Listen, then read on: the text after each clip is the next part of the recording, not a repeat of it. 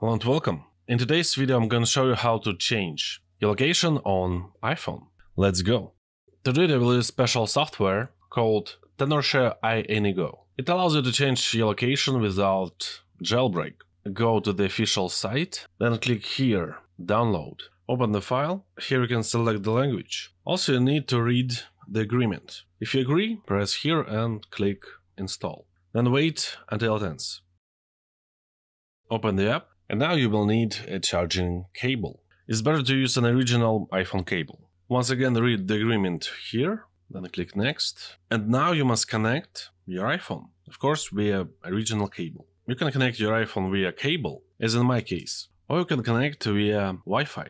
Then press next. If Apple drivers aren't installed yet, the app will ask you to install them. Press yes, wait until it ends, and the drivers will be installed.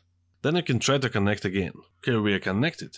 Now it's all you need is to change your location. You can change the location to any point. For example, let it be Chicago. Let it be here. Now I need to press start to modify.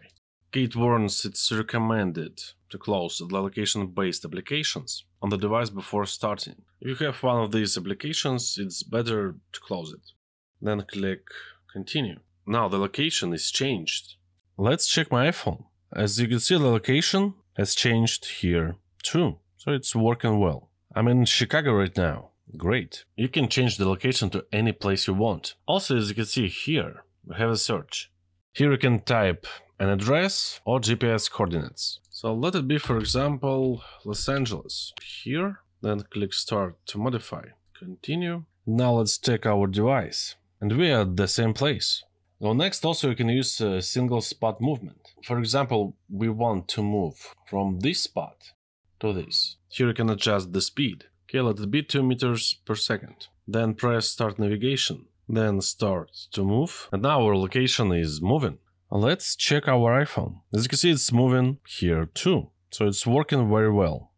Or you can use a multi-spot movement. Let's go from this place to this, to this, and then to this. Then press start to move. The location is changing right now. Let's check our iPhone. And we are moving here too. It works perfectly. Also you can stop or pause. The app has another feature called joystick movement. You can use a keyboard to change the location. Here you can zoom in or zoom out, return to the current location, scan stops and gyms. Also you can use multi-device connection. To reset the location you need to press here. If you need more detailed instructions, you can check the guide here. That's how you can easily change your location on iPhone. If you're interested, all links will be in the description. If this video helps, press the like button, leave a comment and subscribe. See you later, bye.